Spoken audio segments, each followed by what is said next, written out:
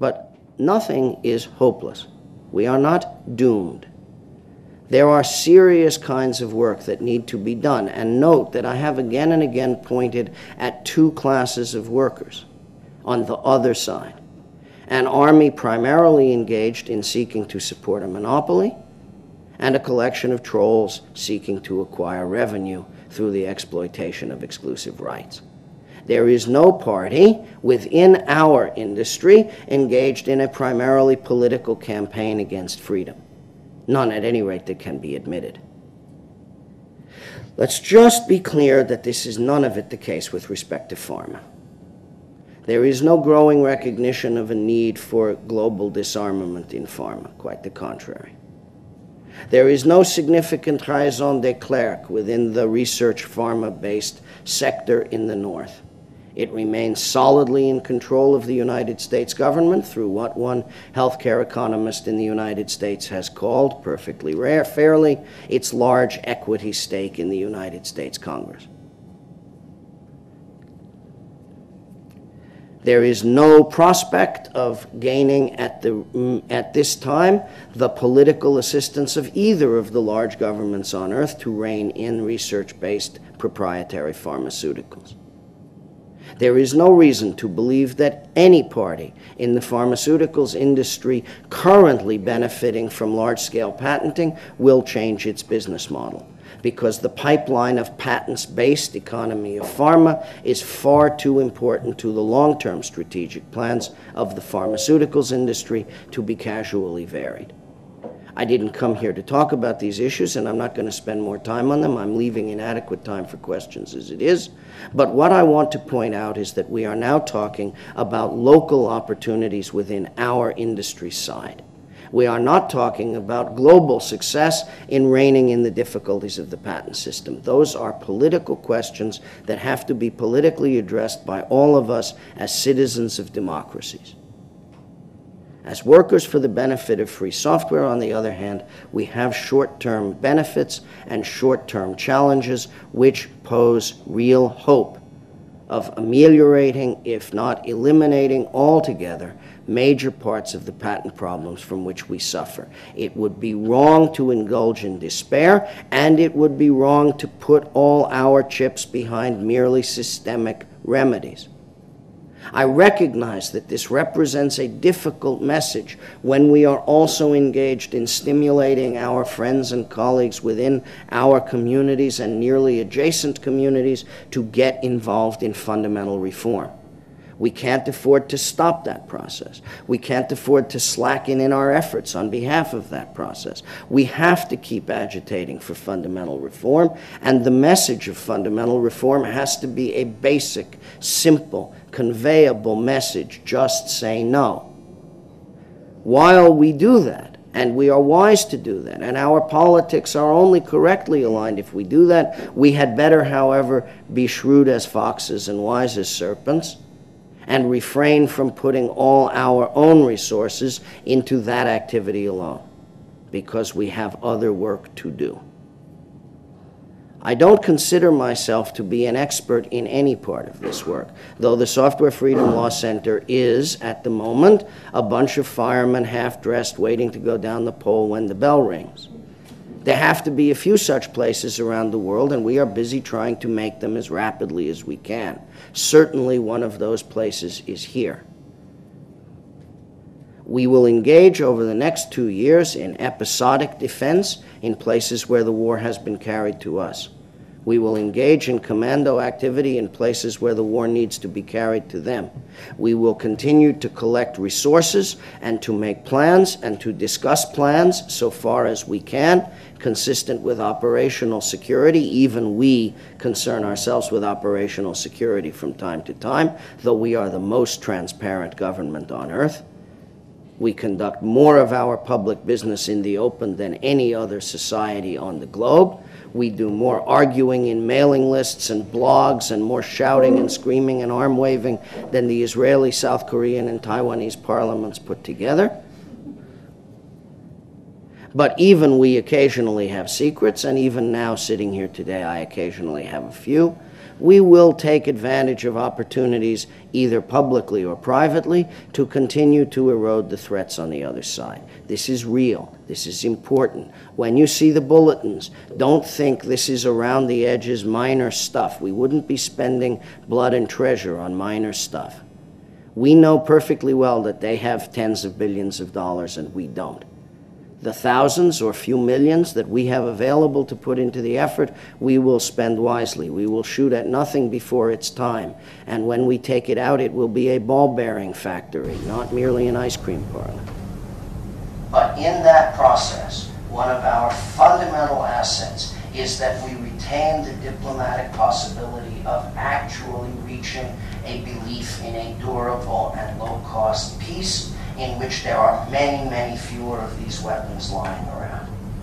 We have to continue to regard the attainment of that kind of durable peace with the same degree of long-term enthusiasm that we think about relief from the patent system altogether. And thus, our messages are complicated and mixed. We have many things to say to our comrades in the struggle. You are absolutely you know more than everybody else. You understand more deeply than others what this is about. You have taken time to educate yourselves. You have taken trouble to become both informed and influential in your communities. Your ability to help build opinion on these subjects is crucial to our success. And you're stuck with a complicated sale. It's not simple. There's not one right answer.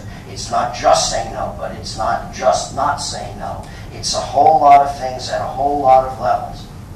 We are a mature society now.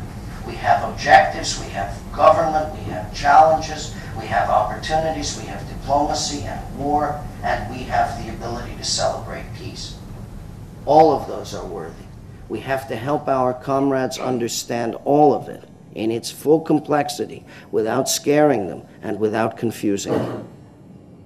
I recognize that even what I have said here is too much to be simple and too simple to be really useful. So, with that in mind, and assuming that I know something more than I have said and not rather less, I welcome your questions. Thank you very much. Thank you. Thank you very much, Professor Moglen. That's been quite a performance. He's been spoken absolutely non-stop. He hasn't taken a sip of that water for 75 minutes. Uh, I reckon a little more than 75 minutes. So I'm sure he's now willing to answer whatever questions you have for him. Please do identify yourself before you raise questions. Professor Mohammed. Yes, go ahead.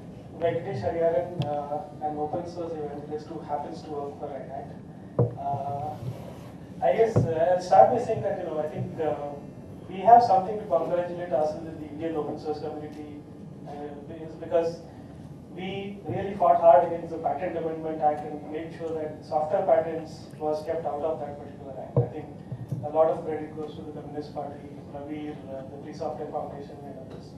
So, but that was just, you know, one part of the war. The battle is still to be fought. And Today, for example, in the papers, there is this whole, recently there was in the parliament, there was this whole battle that saying that so yoga, somebody is trying to patent uh, yoga, copyright yoga, Bikram Choudhury, for example. The most interesting statement by Bikram Choudhury was uh, when somebody asked him, why, are, why is he trying to do this? He, his, his answer was, this is the American way of life. This is something that would be deeply unethical. You know, for example, there were some yogis, uh, Baba Ramdev, for example, is very famous as a yoga teacher, and he was railing against it, saying that this is deeply unethical. So I think primarily to me this seems like a clash of cultures. There is a mercantile tradition in the West which seeks to commoditize and price knowledge. There is a different kind of a tradition, and I've been criticized for calling it the spiritual tradition of India, where you know we are trying to keep knowledge open, share it with others. Yoga, Ayurveda, these are great examples of it. But uh, you know, to take that question forward, we in India have won a certain war. How can we contribute to winning the global battle of the war? Well, Venki, let me just say that one of the reasons that I tried to describe the historical confusions that I see about patent in the American Republic is to offer an implicit response to this. It's the American way of life. Uh, That's a, that's a fair statement, you understand. I mean, it's like saying that at a certain moment in the empire of Catherine the Great, Potemkin villages were the Russian way of life. Right? It's a truth, but it's a slightly partial one. Um, we are at the moment experiencing a republic of rent seeking in the United States in a lot of different ways. Uh, the rent seeking of the petroleum companies may be more obviously affecting life on Earth in both the short term and the long term sense, and you could describe that too as the American way of life. But I think what it means is the world's dominant empire has entered its period of venality and corruption of politics. And to say of that that that constitutes a positive justification for doing something somewhere else would be, in my judgment, absurd and a little bit repugnant. What is really being meant is the proprietization of things, the reduction of everything to property, was in the late 20th century regarded as the successful dogma that emerged from the bilateral confrontation between the United States and the Soviet Union in the midst of which confrontation there was a thing called the non aligned movement, which it would be reasonable to point out had, if it had a mailing address, its mailing address here. Uh, and its purpose was to suggest that by growing diplomatic agility among the people of the world, it might be possible to offset the bilateral confrontation that was going on and its tendency to polarize philosophy.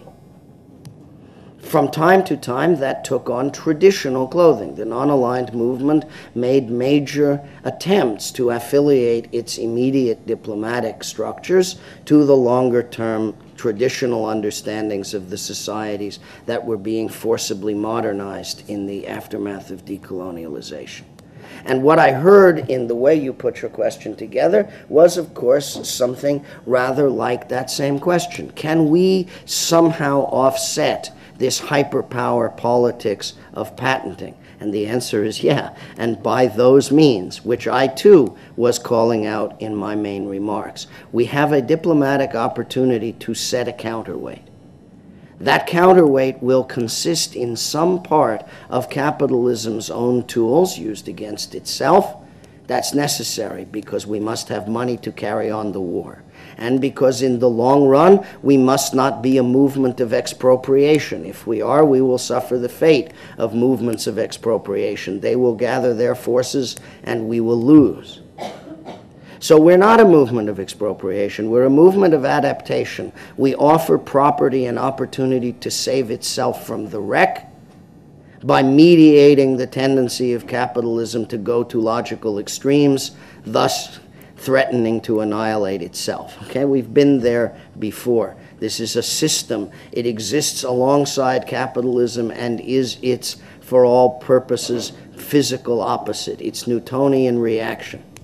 And so we are the ones driving the Newtonian reaction to capitalism's indiscretion at the moment.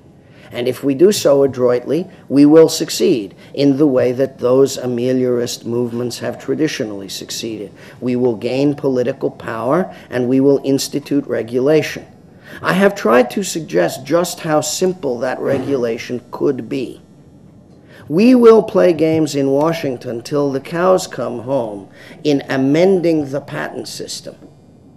And it will be a Christmas tree too big to move through Congress for a generation. After which, with the suddenness of Gramm Leach Bliley or the 1996 Telecoms Act, a moment of partisan venality will be arrived at deep enough to permit the whole Christmas tree to move through the digestive tract of the U.S. Congress, and out will come patent reform. We should have little interest in patent reform, but we should have much interest in the idea that patent law is just administrative law.